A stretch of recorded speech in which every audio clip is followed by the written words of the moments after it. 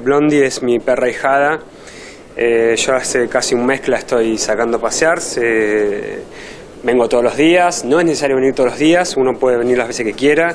De hecho, los fines de semana, si uno se la quiere poder llevar a la casa, lo puede hacer tranquilamente. En mi caso tengo ocho perros, así que no me la puedo llevar. Eh, pero bueno, los Blondie en, este caso particular está hace dos años en zoonosis. Es una perra que tiene aproximadamente cuatro o cinco años. Eh, pero bueno, ella es un caso de varios que hay acá eh, y la idea de esto es em, todas, todas aquellas personas que no puedan eh, o tener un perro, puedan por lo menos darle un ratito de felicidad a, estos animalitos que bueno, hoy por hoy están sufriendo bastante.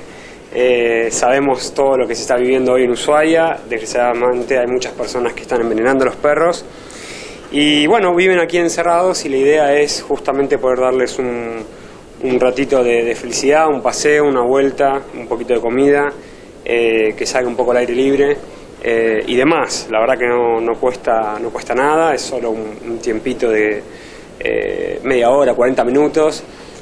con Blondie ya tenemos nuestra rutina, nosotros salimos al campito que hay acá atrás. y los jueves es su vuelta larga, que vamos hasta el centro, volvemos, la verdad que ella se divierte muchísimo, la gente en la calle la se para para acariciarla porque es una perra muy buena pero como te decía antes, Blondie es un solo caso de los cientos de casos que hay acá, que, se, que tranquilamente cualquier persona puede venir a apadrinar un perro. Eh, esta es la idea, em, que los vecinos de Ushuaia salgan a apadrinar perros y, de paso fomentar la, la adopción, ¿no? siempre responsable, por supuesto. Sabemos que, bueno, desde este programa que se ha em, liberado, dictado desde el, desde el municipio, bueno, se han conseguido más adhesiones para los voluntariados y para colaborar en eh, todo lo que sea necesario con, los animales. Bueno, ¿cómo cae esto? Sí, seguramente. A ver, em, yo un poco, no, no hace mucho, hace un mes que estoy como, como voluntario. Eh, obviamente esto surge desde el caso ya conocido.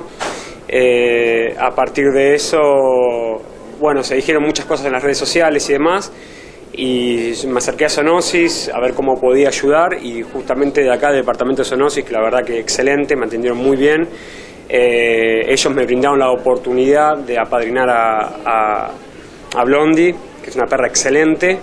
Eh, entonces, bueno, es un poquito más hacer un, granito, aportar un granito de arena eh, en estas maravillas de, de animalitos.